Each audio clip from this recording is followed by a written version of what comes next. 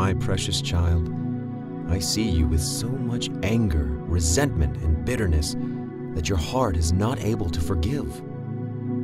One of my last statements before I died was Luke 23:34. I said, "Father, forgive them, for they don't know what they are doing." And the soldiers gambled for my clothes by throwing dice. You will learn so much about the gift of forgiveness in my word, the Bible, which was meant to be your compass through.